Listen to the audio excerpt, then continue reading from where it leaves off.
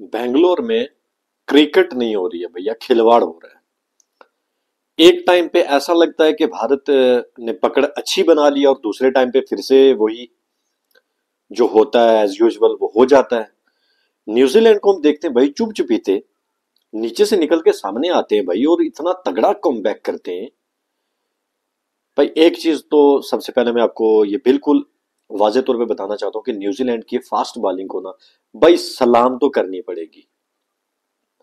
देखिए, हमारे पास भी फास्ट बॉलर है, लेकिन अब मैं ऐसा नहीं कह रहा हूँ कि हमारे फास्ट बॉलर अच्छे नहीं है, लेकिन मैं आपको एक चीज़ समझाता हूँ डिटेल में और क्या रीजन है कि सरफराज खान डेढ़ सौ स्कोर बनाते हैं, विराट कोहली सत्तर बनाते हैं, ऋषभ पंत 99 बनाते हैं और कुछ हमारे प्लेयर्स फेल क्यों हो रहे हैं।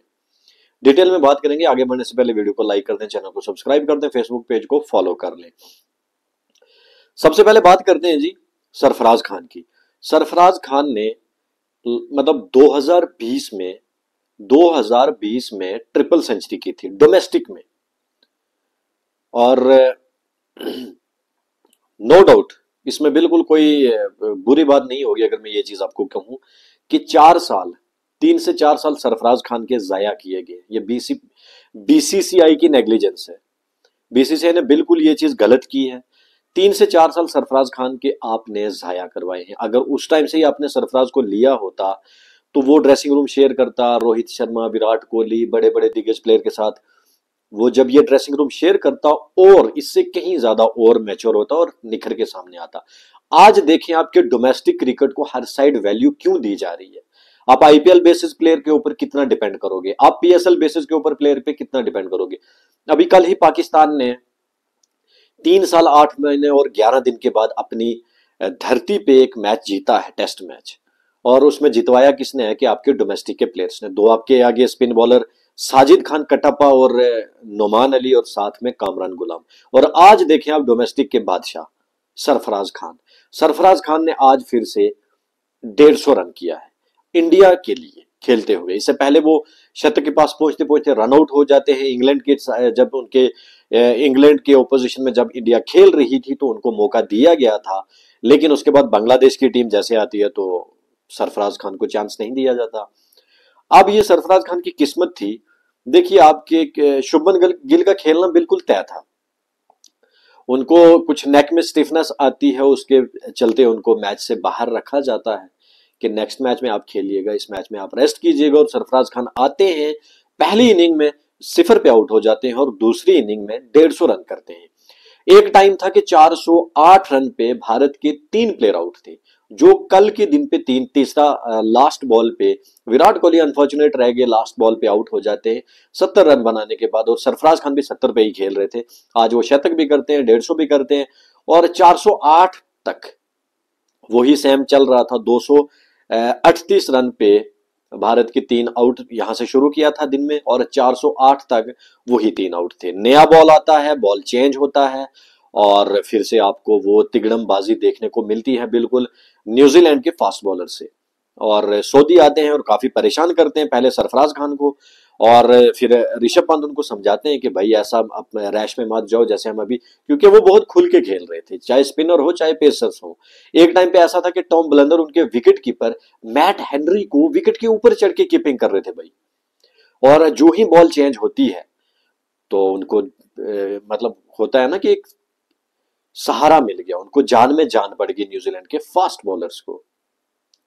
और जैसे आता है तो टीम सोदी ने आते ही एक दो ओवर के बाद सरफराज खान को चलता किया उसके बाद ऋषभ पंत को विलियम ओरुर की पता नहीं यही कुछ नाम है उन्होंने क्लीन बोल्ड किया। भाई वो तगड़ी बॉलिंग करते हैं। कल कुछ लोग हमारे कुछ आ, हमारे कुछ भाई उनका मज़ाक उड़ा रहे थे उनके नाम के ऊपर कि ये कौन बंदा है इसको कौन पहच, पहचान भी नहीं रहा। भाई उसने आज दिखा दिया कि मुझे कौन पहचानता है और कौन नहीं पहचानता है। तो ये चीज़ जो बात सही है सर उसको बिल्कुल सही कहिए। तो आप ये चीज़ मान के चलिए कि न्यूजीलैंड की फास्ट बॉलिंग अभी हमसे ज़्यादा बेहतर खेल रही है। ऐसा नहीं है कि वो हमसे बेहतर है, बट वो डिस्प्ले बेहतर कर रहे हैं। जैसे ही उनको मदद मिलती है, वो पूरा यूज़ करते हैं। पहली इनिंग में देखिए, फास्ट बॉलर के पास मदद थी, लेकिन हमारे फास्ट बॉलर इतनी मदद उठा नहीं पाए। हमारे तो स्पिनर्स ने हमें विकेट लेके दिए। जी, बिल्कुल, हमारे स्पिनर्स ने हमें ज़्यादा विकेट लेके दिए। हमारे फास्ट बॉलर ने हमें उतनी हेल्प नहीं की, जितने न्यूजीलैंड के फास्ट बॉलर उनकी हेल्प कर रहे हैं, उनके स्पिनर से कुछ भी नहीं हो जा रहा है। तो ये ये कहा जाए कि उनने मतलब अपने होम ग्राउंड पे वो ऐसा ही खेलते हैं, उनके स्पिनर की तरफ़ कम तोजह होती है, अपने फास्ट बॉलर की तरफ़ ज़्यादा उनकी रुझान होता है, ध्यान उनका ज़्यादा रखा जाता है। और आप इस चीज़ को देखिए कि 408 पे तीन आउट होते हैं और चार सौ बासठ पे 462 पे ऑल आउट हो जाती है इंडिया की टीम। और इसमें सबसे ज़्यादा मुझे अगर किसी प्लेयर पे अगर ज़्यादा मुझे अफसोस हो रहा है तो वो हो रहा है के राहुल के ऊपर। देखिए, बॉल नया था। केएल राहुल तो हम मानते हैं ना कि ओपनर है वो।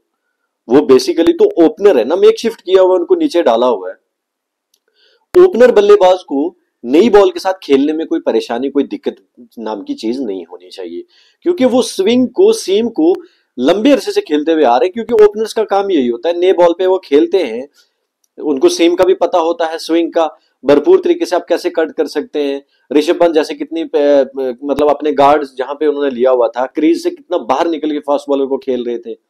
और वहीं पे आपके के राहुल फंस जाते हैं नो डाउट बॉल उनको बहुत अच्छी पड़ गई लेकिन सर, आप हर बॉल के पीछे ऐसे ही लपकेंगे तो बॉल तो चिपकेगी बैट के साथ।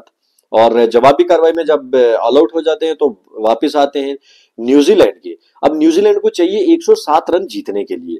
लेकिन अभी जब वो आए थे तो हम सब यही सोच रहे थे कि अभी शाम का टाइम है, अगर दो से तीन विकेट भारत ले लेती है, पचास मिनट का खेल अभी बचा हुआ था, और अगर खेल चलता अभी, दो से तीन विकेट कहीं नहीं थे, वो हम आपको अभी बिल्कुल जिस हिसाब से तेज बॉलों को मदद मिल रही थी तो आपके जसप्रीत बुमराह और सिराज ने ऊपर से दो तीन विकेट आपकी चटका लेनी थी। और कल जब न्यूजीलैंड आती तो एक बड़ा टफ काम था, बहुत मुश्किल था। 107 रन ज़्यादा नहीं है, लेकिन अभी अब विकेट की हालात देखो और भारत की गेंदबाजी को देखो आप तो प्रेशर भी बहुत होगा।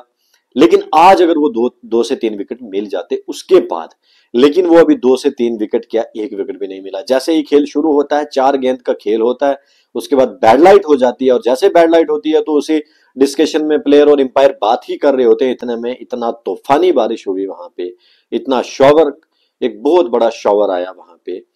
तो उसके बाद तो खेल कहीं आपको दिखाई नहीं देता था क्योंकि उसके बाद सुपर सोपर्स जब तक चलते तब तक आधी रात हो जानी थी। तो इसलिए आज का खेल वहीं पे समाप्त कर दिया गया और कल सुबह सवा नौ बजे खेल खेला जाना है और अठानवे ओवर कल के दिन में अगर एंड तक अठानवे ओवर तो नहीं जाएगा गेम खेल देखिए, अगर इंडिया भी जीता, तब भी या न्यूजीलैंड भी जीता, ये आपका खेल है सिर्फ़ और सिर्फ़ तीस ओवर का थर्टी ओवर। तीस ओवर की गेम है कल आपकी। इसी में डिसाइड हो जाना है। नाइनटी एट तो होने नहीं है।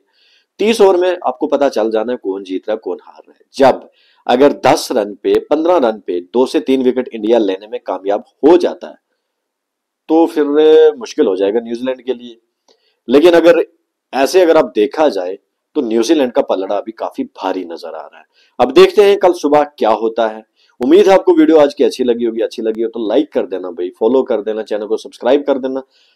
अपना बहुत सा ख्याल रखना। अल्लाह हाफिज।